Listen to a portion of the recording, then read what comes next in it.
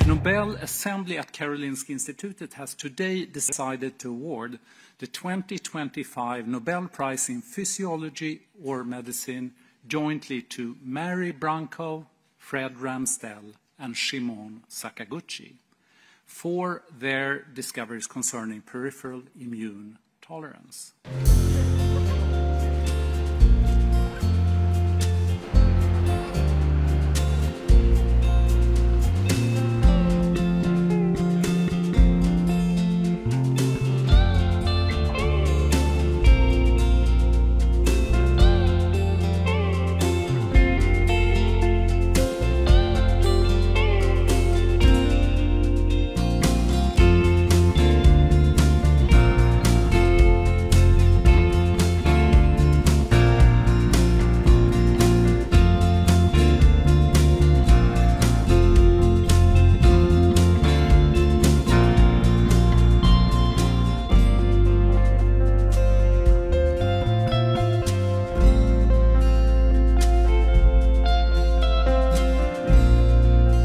My part of discovery is that we found a, a specific molecule uh, which is important for immune regulation.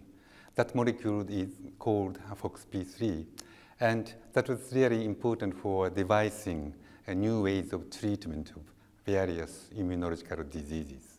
So my part of the discovery and my team's part of the discovery was to identify um, a factor that controls the cells that controls immunity.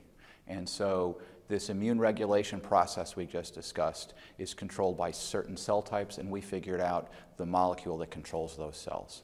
So immune regulation is incredibly important to study because our immune system is designed to prevent us from being attacked by pathogens, bacteria, viruses, et cetera, but at the same time it can attack us in the form of arthritis, multiple sclerosis, et cetera. So the regulation keeps those two processes in balance and so that it maintains health.